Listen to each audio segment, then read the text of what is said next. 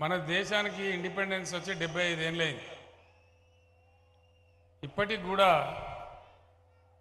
ప్రజాస్వామ్య ప్రక్రియలో రావాల్సినంత మెచ్యూరిటీ రాలేదు. ఎంత బాగా పక్వం చెందానో డెమోక్రసీ అంత పక్వం చెందలేదు. ఎక్కడనైతే ఆ పని జరిగిందో బాబు కూర్చోవాలి మీరు దిమ్మలా కూర్చో మళ్ళీ నిలబడమైందా కూర్చో. దిగవా బాబా స్టేజ్ ఎక్కిన దిగు.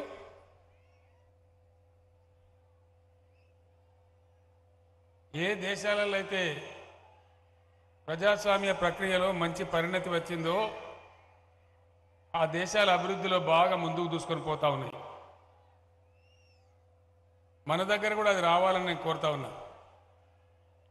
మన దగ్గర ఎలక్షన్ వచ్చిందంటే అంగడంగడి పెద్ద గందరగోళం.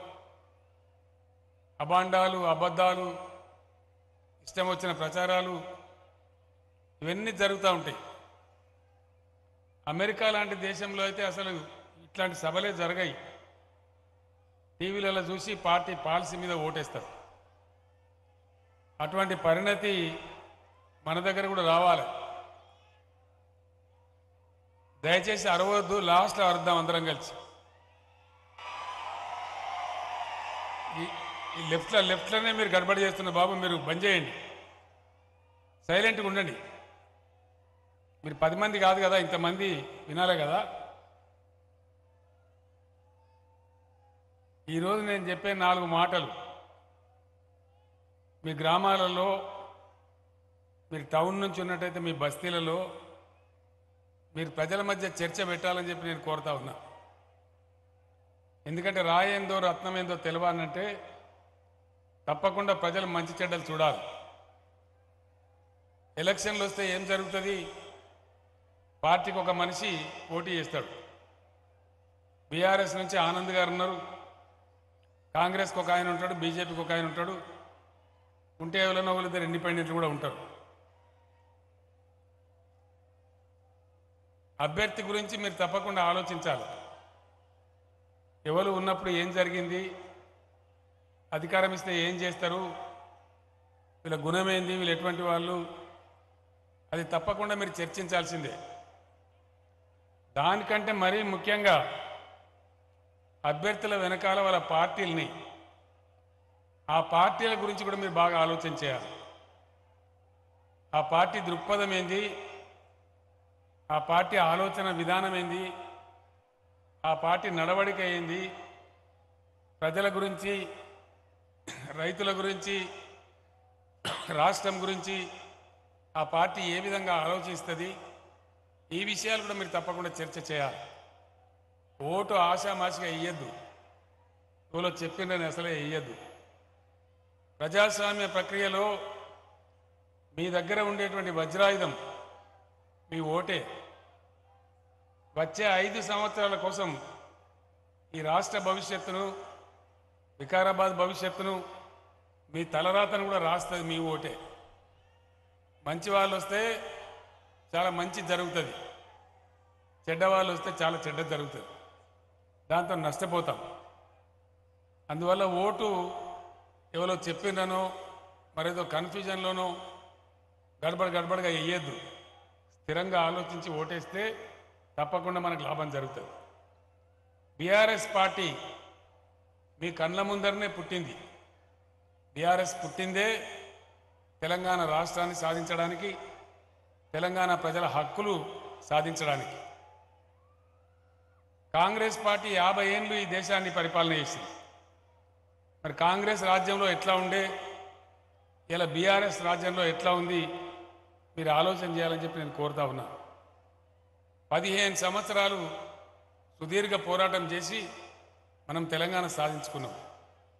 గత పదేండ్లుగా మీ ఆశీర్వాదంతో ప్రభుత్వాన్ని నడుపుతా ఉన్నాం.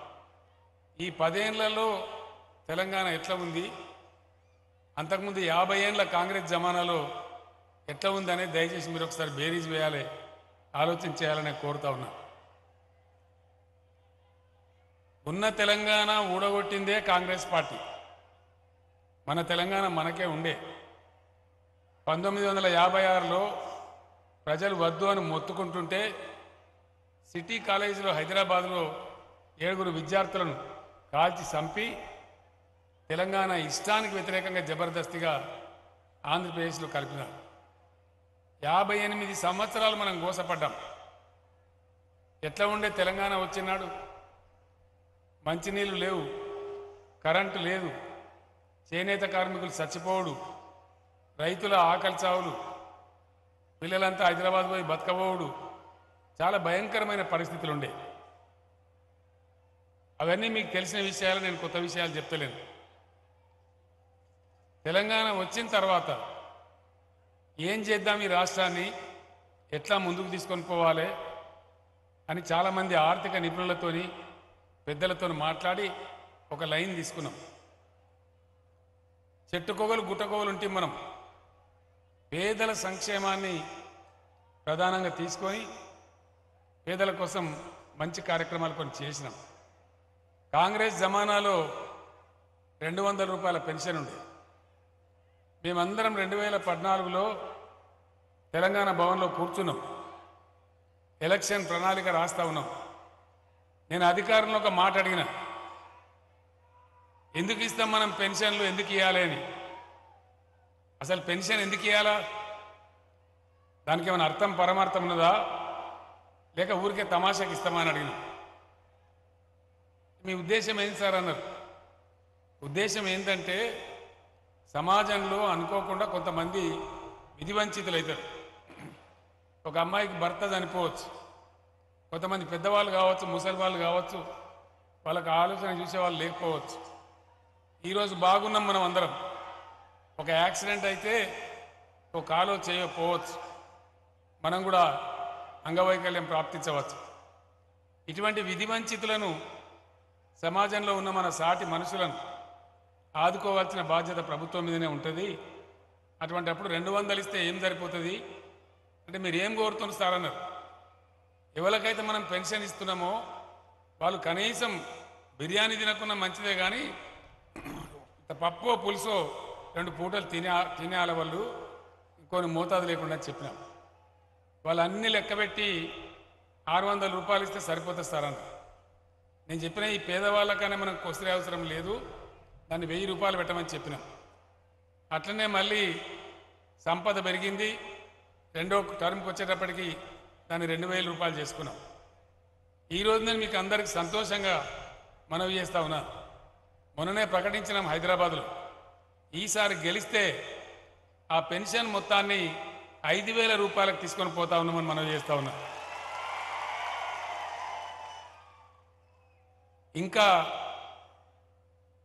చాలా కార్యక్రమాలు మీరు చూసాను మీ కన్న ముందు జరిగినాయి. కంటి వెలుగు అని ఒక ప్రోగ్రాం వస్తుందని ఎప్పుడైనా అనుకున్నారా? ప్రతి గ్రామానికి డాక్టర్లను పంపించి మూడు కోట్ల మందికి కండ్ల పరీక్షలు చేయించి ఎనభై లక్షల మందికి కంటి అద్దాలు ఇచ్చినాం. మీ కండ్ల ముందే జరిగింది. అన్ని గ్రామాలలో అద్దాలు పొందిన వాళ్ళు ఉన్నారు ఇప్పుడు. అట్లాగే అమ్మాయిలు డెలివరీ అయితే చాలా ఇబ్బంది ఉండేది. గవర్నమెంట్లోనే మంచి ప్రోగ్రాం పెట్టి అమ్మఒడి వాహనాలు పెట్టి ఆడపిల్ల పుడితే పన్నెండు వేలు పదమూడు వేల రూపాయలు ఇచ్చి మగపిల్లగాడు పుడితే పన్నెండు వేలు ఇచ్చి గవర్నమెంట్ వ్యాన్లోనే ఫ్రీగా తీసుకెళ్ళి పరీక్షలు చేసి మళ్ళీ ప్రసవం అప్పుడు కూడా తీసుకెళ్ళి ప్రసవం చేయించి మళ్ళీ దర్జాగా ఇంటికాడ దించి పెడతా ఉన్నారు. ఇవి కూడా మీ గ్రామాలలో మీరు చూస్తూ ఉన్నారు. కళ్యాణ లక్ష్మి షాదీ ముబారక్. పేదింటి బిడ్డల పెళ్ళిళ్ళు అయితే వాళ్ళకి కష్టం ఉండదు కాబట్టి ఒక లక్ష రూపాయలు సాయం చేసుకుంటా ఉన్నాం. ఇవి ఇండియాలో ఎక్కడ కూడా లేవు ఈ కార్యక్రమాలు. ఇవన్నీ కూడా మీ కళ్ళ ముందు జరుగుతున్నటువంటి కార్యక్రమాలు నేను చెప్పేది. దాని తర్వాత రెండవది వ్యవసాయం. వ్యవసాయం బాగుంటే పల్లెలు బాగుంటాయి గ్రామాలు బాగుంటాయి అందరికీ మంచి జరుగుతుంది. దానికోసం కాలువల ద్వారా ప్రాజెక్టుల కింద నీళ్ళు బారితే అన్ని రాష్ట్రాలలో పన్నులు ఉంటాయి కానీ మన రాష్ట్రంలో పన్నులు లేవు. తీసేసినాం దాన్ని. రద్దు చేసినాం. అదేవిధంగా ఇరవై నాలుగు గంటలు మంచి ఉత్తమమైనటువంటి కరెంటు ఫ్రీగా ఇస్తూ ఉన్నాం. అట్లనే రైతు బంధు ఎప్పుడు ఇండియాలో మనం వినలే. ఏ రాష్ట్రంలో కూడా లేదు. రైతు బంధు అనే పదం పుట్టించిందే కేసీఆర్ బీఆర్ఎస్ పార్టీ. ఇలా రైతు బంధు కార్యక్రమాన్ని అమలు చేస్తూ ఉన్నాం.